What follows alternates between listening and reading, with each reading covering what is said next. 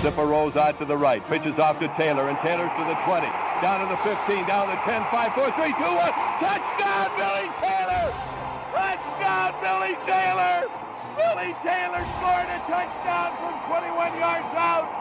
The crowd goes berserk. It was November 22nd, 1969 that they came to bury, Michigan, all dressed in maize and blue. The words were said, the prayers were read, and everybody cried. But when they closed the coffin, there was someone else inside. Oh, they came to bury, Michigan, but Michigan wasn't dead. And when the game was over, it was someone else instead. Eleven Michigan Wolverines put on the gloves of gray, and as the organ played the victors, they laid Woody Hayes away. Under center is Wangler at the 45. He goes back. He's looking for a receiver. He throws downfield and fires. Fire! Who's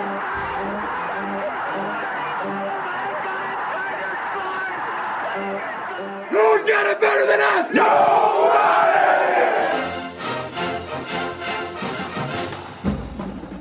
Welcome to the Michigan Man Podcast on Wolverine Sports Radio, a member of the V Sporto Network, and in partnership with SB Nation's Maize and Brew for Wolverine fans from coast to coast.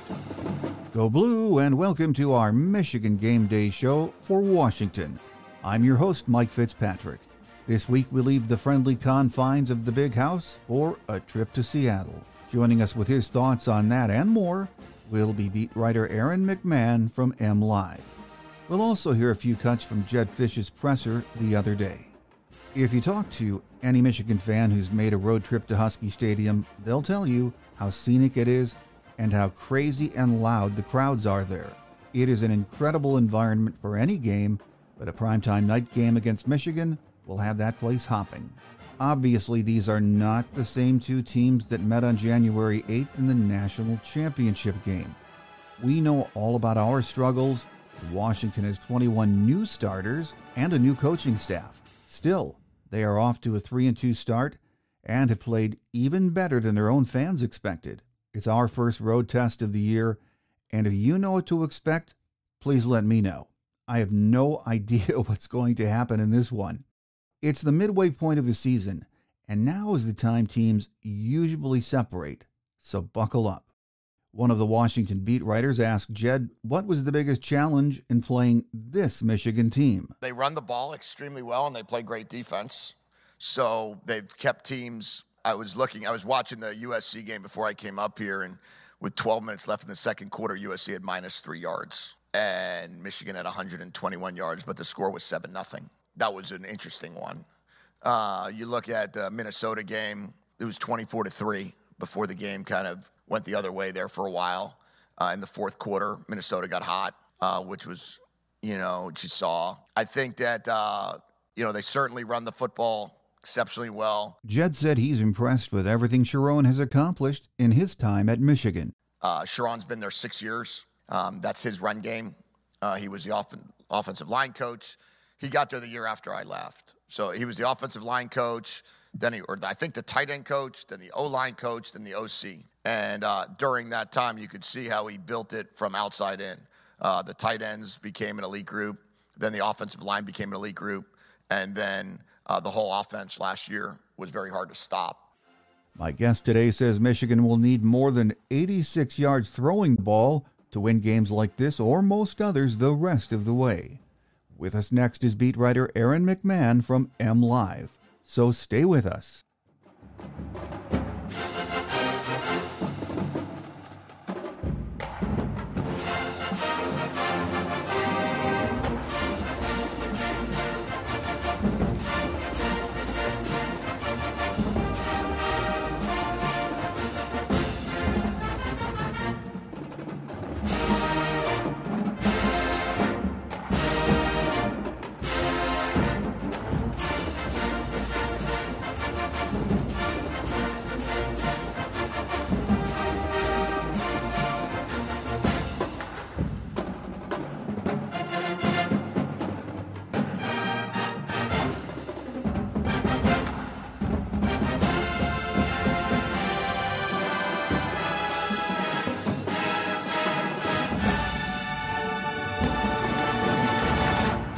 Joining us this week on the show as we get ready for a, the first road trip of the year to Washington is beat writer Aaron McMann from MLive. Great to have you back once again, Aaron. Good to be back, Mike. We're, we're in full football mode right now. Michigan's getting ready to make their first road trip of the season. Kind of odd, you know, they played their first five games at home. They're one of they're one of two FBS schools. I actually went back and looked. One of two FBS schools to play their first five games inside their home stadium this year.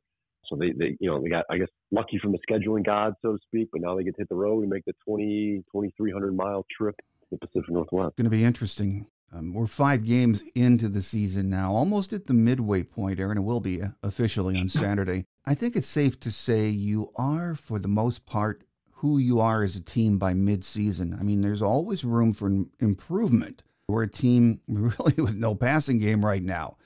Do mm-hmm. you see any way that can be improved at this point? Well, I think the only way to go is up at this point. It's just a matter of how much they go up. Um, yeah, I mean that's that's clearly been the Achilles heel for this Michigan offense so far is the lack of a passing attack. You know, they they tried it a little bit with Davis Warren early in the year. Uh, you know, he was rather productive. I mean, he was completing nearly two thirds of his passes. The problem is he was throwing too many balls in the other team, and Michigan felt like that was eventually going to catch up to them.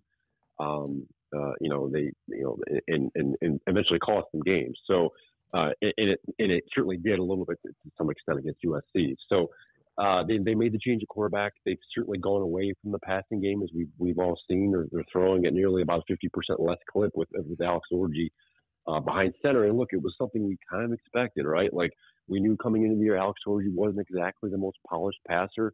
We hadn't throw, seen him throw the ball much at all. In fact, he came in the year throwing with one pass attempt to his to in his career. So um, it was clear that, that the way Michigan was going to go when they brought in Alex Orji, right? They were going to go back to the ground and pound style of uh, you know, attack that, that, you know, had made them successful the last couple of years. Um, that's how they felt like that was going to be their best chance to win football games.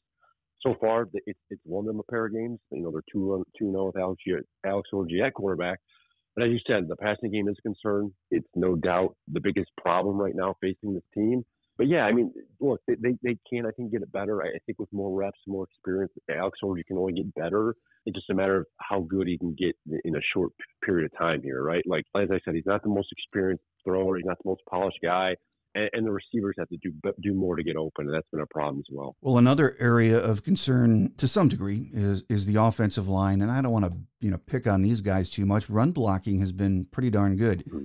But you know, in the last week, last two weeks, even with limited passing attempts from Alex, there has been a lot of pressure getting to him. He's taken hits. He's been chased. It was happening with Warren before him too obviously uh, that has to be cleaned up but it's concerning at this point isn't it probably again another reason why they're not throwing the ball you know as much now i, I think Sherrone Moore you know he's a very good offensive line coach he can recognize when issues pop, pop up and while he may not be talking about them publicly, as you pointed out, they have had troubles in, in the pass blocking department.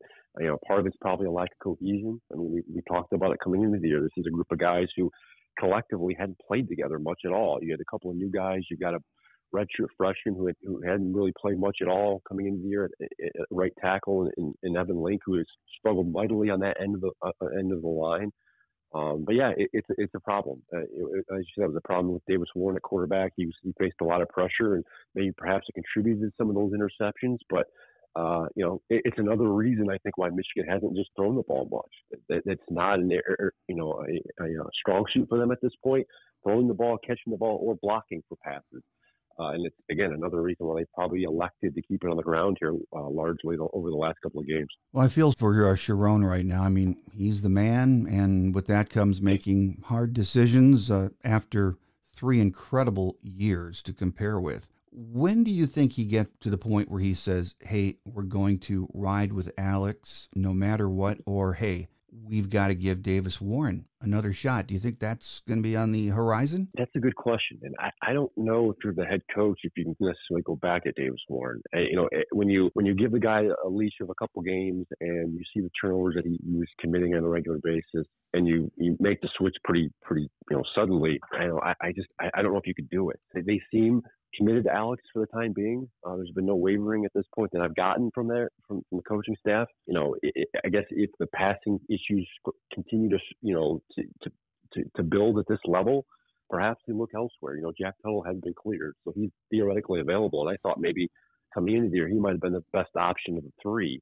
But the problem is you just don't know what you're going to get on him on a week to week basis and whether he can stay healthy. So I, I think with regards to what Michigan wants to accomplish offensively, Alex seems like the best fit.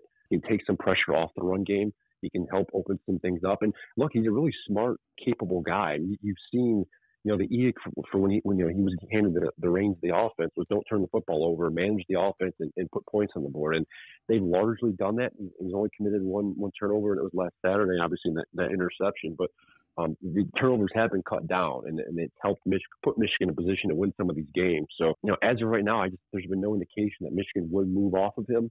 Um, you know, when, they did make the change, Sherrone was asked, you know, if he could go back, you know, if, if it's possible for him to go back eventually to Davis, if, if the, you know, the situation presents itself. And he said he, he was adamant. He said, no, we're sticking with Alex, you know, for the rest of, you know, for, for time, you know, time being. So, um, right now it's, it's Alex's show. I think they're going to keep riding him until maybe the, the wheels fall, fall off, so to speak. But as I said, I mean, there's a lot of room for him to grow in the passing attack. I, you know, I, there hasn't been, I know there hasn't been a lot of evidence to show that he can get better. Um, but I, I, do think with more reps, it, it's certainly, as I said, there's there's no way to go but but up. Well, I never thought I'd say this because I, I do not like two quarterback systems, but you know, given how different those two guys are, what they bring to the offense, maybe playing them both is an option if the wheels fall off. I mean, it's not the option most of us want. It's not what Sherrone wants, but I think we're sort of screeching to the point where you know the reality is, hey, it might be worth a try. Would that surprise you? No, not at all. It's certainly plausible, right? Like I think some of us were talking about a potential two quarterback system coming into the year, right? Because mm-hmm. I, I think many of us did see that some of the strengths, you know, Alex and Davis kind of complemented each other in, in, some regards. But as we, you know, we've heard from quarterbacks and even running backs, and you know, they talk about wanting to get into a groove out there and not necessarily coming out, you know, uh, you know, every couple plays because then it becomes difficult to get comfortable uh, back there. So I, I, I, think Michigan probably wants to avoid that, you know, at all costs. But potentially, could it come up? Certainly. I guess it's, it's certainly a plausibility, plausibility toward the end of the year if, if, push comes to shove and they need, you know, whether it's a deep ball, a deep throw, and Michigan needs a, a long drive, and, and they elect to put Davis in there. It's certainly possible. Um, but you know, as of right now, I, I think Alex is the guy um, until until you know until stated otherwise. Well, after the USC game, I thought, you know, okay, the defense is rounding into what we thought it would be.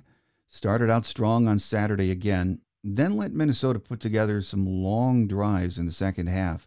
Should that be a worry, or is the fact that the offense isn't keeping the defense off the field like it has the last three years. Is that the real focus or concern? Yeah, it's probably probably a combination of both. I know that's probably the easy way out to answer the question, but you know we, have seen this defense certainly turn a corner. They've certainly gotten better. I, I think Wink Martindale's adjusted a little bit when it comes to schematic things and blitzes and, and everything else. But you know if you go back to that game Saturday, you know it was largely two, like you said, it was two drives at the end of the game, two long drives that they gave up that you know to help bring get Minnesota back in the game. The third touchdown was was was a result of that the long punt return. So that's really no fault of the defense. So it, it has been funny though. The last couple of weeks, it seems like the defense has, and Wink Martindale specifically, they've kind of been out schemed in the second half, out adjusted. Uh, teams have, have kind of figured things out, and Michigan's you know let up some long time churning you know key drives. Mm-hmm. Uh, you know, and, and that's that's the risk you take with, with with you know with the heavy blitz that Wink Martindale likes to do. Now he dialed it back a little bit, uh, you know, a couple weeks ago against USC.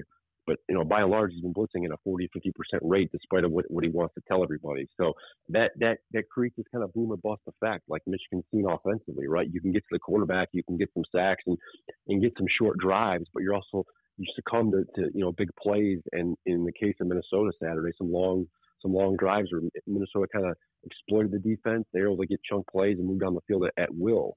Uh, so it's you know, I, am not so much, much concerned. I, I, think they're going to continue to play get, get better. I mean, they've, they've done a good job, I think, really since that week two loss to Texas of adjusting and, and, and realizing, I think, what works. Uh, but nonetheless, don't get me wrong, they're going to still be they're going to they're going to give up some long drives moving forward. That's kind of the nature of how they play. It, it's not what they, what we're used to, especially the last couple years under Jesse Minter, that bend don't break defense. Um, Michigan's just not that this year. They're kind of that get home defense, or or they give up some some long drives and points. Well, this week, as we uh, well know, Michigan travels to Washington, going in as underdogs to an unranked team, which is odd in itself. And I watched Washington against Rutgers uh, last Friday night. They rolled up over 500 yards total offense. It's an all new cast of characters out there, vastly different than we saw on January 8th. But the Huskies have been really a balanced, effective team so far, haven't they? Yeah, they've been really good. Uh, you know, really productive offensively. Uh, they got a really good quarterback in Will Rogers. He's a 50-year guy, 23 years old. Um, doesn't turn the ball over much. Michigan or Washington's committed you know, just two turnovers this entire season, so they take care of the football and they can they can move down the field. Uh, as you said, they, they can pile up the yards. They're averaging something like 470 yards a game, so they're very productive. The, their problem, as you, as you pointed out, Saturday against the Rutgers, and it wasn't the you know, the first time that they have trouble scoring points. Uh, you know, they they're they're they're converting on third down at only a 38% clip. So you know, they're not translating translating some of these drives into points. So that that's been their biggest issue. But no, very good. They got talented receivers. Um, they got a two back system they like to use. Uh, some explosive guys that you know, and they're very proficient. You know, Will Rogers played on an air, uh, air raid attack at Mississippi State, so he's familiar. He's he's an experienced guy, and so far, I mean, you look at scratch your head and wonder why they're three and two, but then you kind of dig deep a little bit and, and you realize some of the inefficiencies and, and, and uh, you know uh, their down lows have, have, have, you know hurt them. No, absolutely they have. They've uh, made boneheaded plays in the red, red zone the uh, the first five weeks. Uh, you, you have to look at it and say, hey, if you can clean that up, it has not been a physical issue uh, or a production issue. It's just making incredibly stupid decisions and plays in the red zone. Mm-hmm. And you've got that, as you mentioned, a, a, a veteran senior quarterback in Will Rogers who's putting up good numbers. He makes good decisions, has some nice receivers. I mean, led by former Wolverine Giles Jackson, has 34 catches. They've got a running back in Jonah Coleman, who's a bruiser.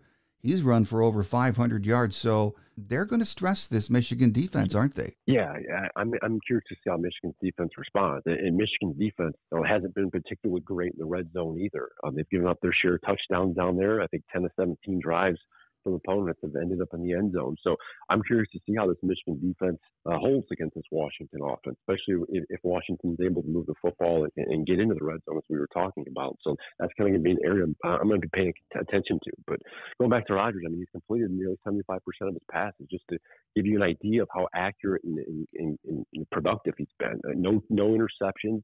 Uh, he's thrown for 1,500 yards, 10 touchdowns. So he's been very good uh, I, am just I'm just curious to see if this Washington offense can kind of finish drives. That's going to be key. Uh, you know, so far teams have done relatively decent job of doing so against the Michigans. We talked about they've had some long sustaining drives. So, um, you know, the, the, Michigan defense is going to have their their hands full. Uh, but by all, all accounts, they're getting going to get back some of their key players.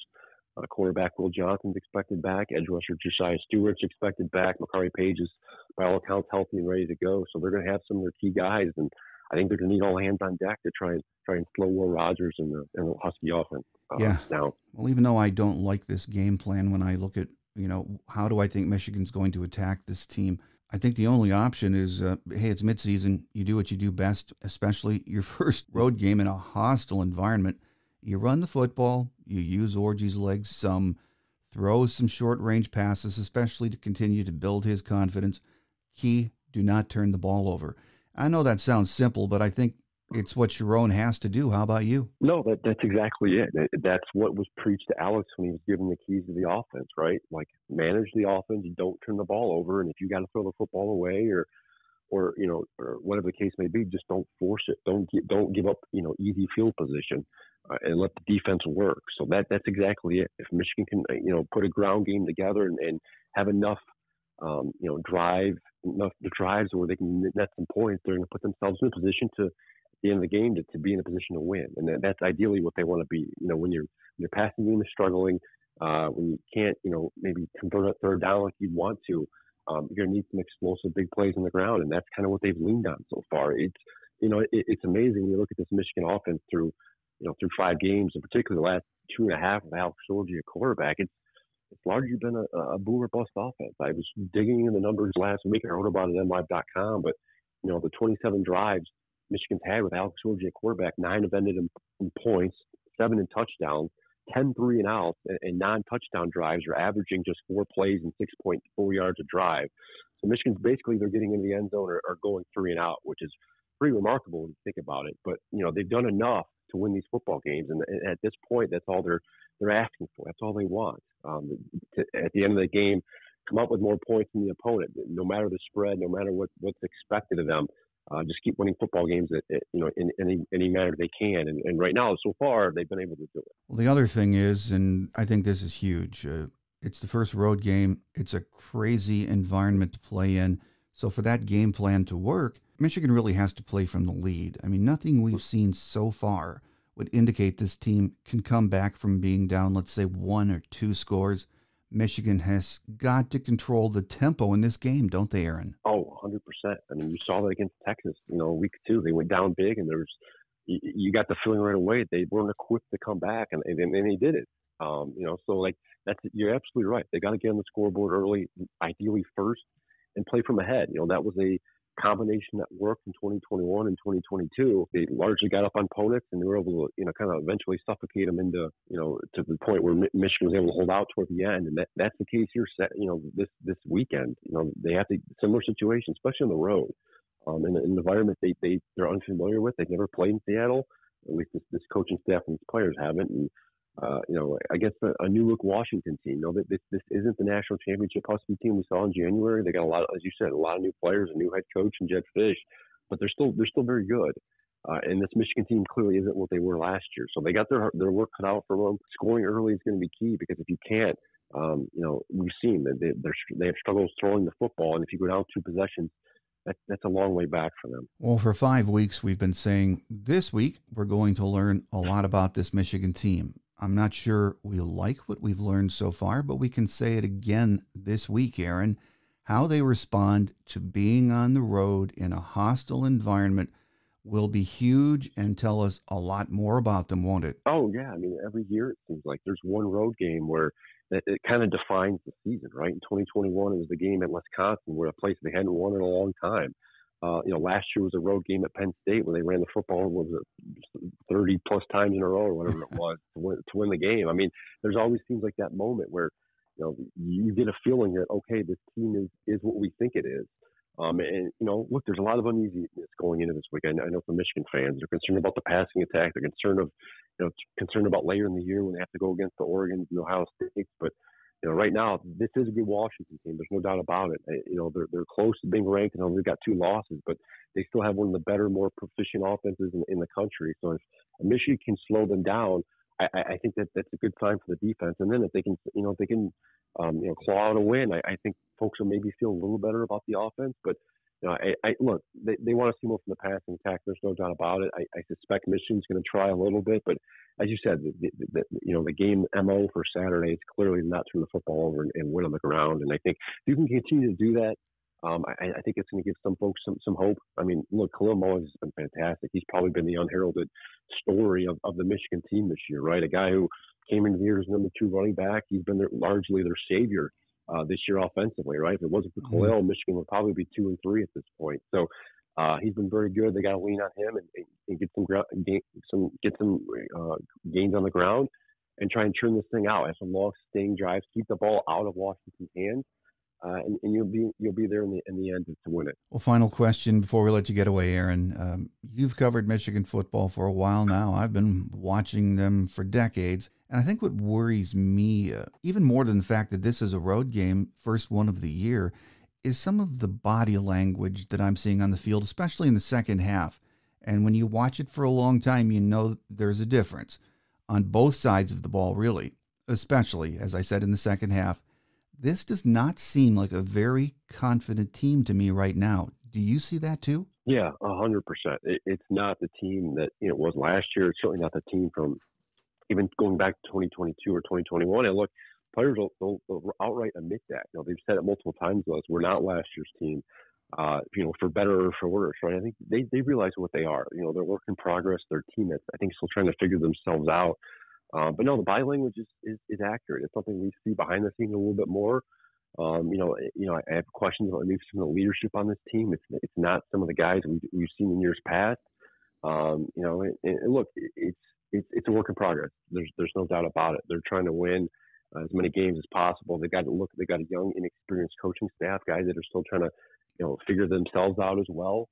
Uh, and I think fortunately they probably they feel good about themselves being four and one at this point, right? There's there's there's there's a situation, there's a possibility where they're you know there's scenario where they're three and two or two and three at this point. So you know I think they feel good about where they're at. Fortunate maybe for where they're at. Um, but they've got a lot of room for improvement on both sides of the ball, especially offense. Um, but no, it, look, it's it's not last year's team. That's something they've outwardly admitted. They're they're not nearly as good. They lost a lot of talent last year. Uh, you know, you go down go down the board on both sides of the ball. A lot of key playmakers, guys they leaned on quite a bit. And, and I thought maybe you think maybe that um, they thought they were going to have more depth defensively than they had, you know, go than they have going into the year. They look they've leaned on some guys, but I, I don't think the quality of depth has been there, like they, have been used to in years past, and it's, it's made them pay as well. So, uh, just going back to my original point, it's, it's a work in progress. They're they're trying to get better. Uh, it, it's not last year's team.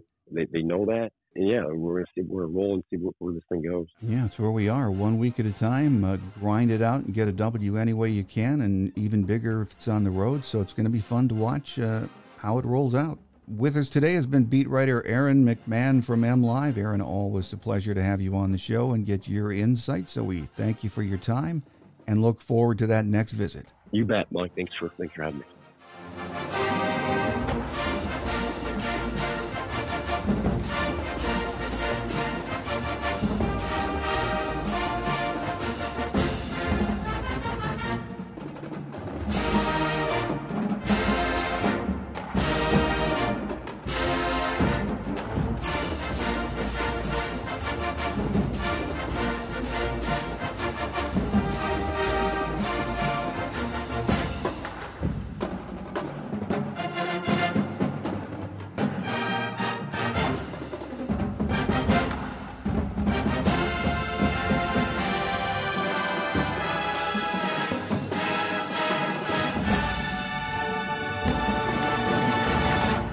On Quick Hits today, the last injury news we heard is that Will Johnson and Josiah Stewart are ready to go. We'll need all hands on deck for this one, no doubt about it. Here are a few game day notes of interest. Michigan leads the series with nine wins against five losses. The first meeting was on September 26, 1953, in Ann Arbor, a 50 0 Michigan win. These two teams last met on a day we will all remember well January 8th of this year in the national championship game, a 34 13 Michigan win. Jedd Fisch is in his first year as head coach. His record is 3 and 2. In four years overall as a head man, his record is 20 and 22. The Huskies were 14 and 1 last year and Pac 12 champions. They ended the season after the loss to Michigan, ranked number two in the country. They return zero starters on either side of the ball.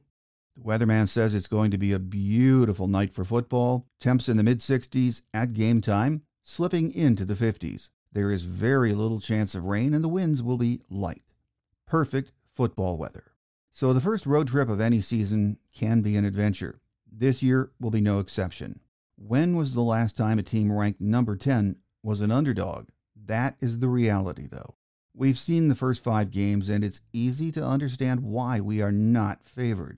I think this is going to be another game where we just have to grind it out and win any way we can. I hope we're surprised and the passing game starts coming around, but I'm not holding my breath. Run the ball, play defense, maybe force a few turnovers, and gut out a road win. That would be huge. Next week we can take a breath during the bye and hopefully we're 5 and 1 at that point. Joining us with his thoughts on Michigan football at the midway point will be Isaiah Hole from the Wolverines Wire. So I hope you'll join us. That will do it for now. Have a great Wolverine weekend, everyone. I'm your host, Mike Fitzpatrick. Think victory, beat Washington. Until we meet again, take care, and as always, go blue. Thanks for joining us today on The Michigan Man, here on Wolverine Sports Radio, a member of the V Sporto Network, and in partnership with SB Nation's Maize and Brew. Our listener lines are open 24 7 for your calls at 313 263 4842. That's 313 263 4842. Or email us at the Michigan Man Podcast at yahoo.com. That's the Michigan Man Podcast at yahoo.com. The Michigan Man podcast is produced at the studios of Robin Lynn Productions, Allen Park, Michigan, and is not affiliated with the University of Michigan. Go Blue!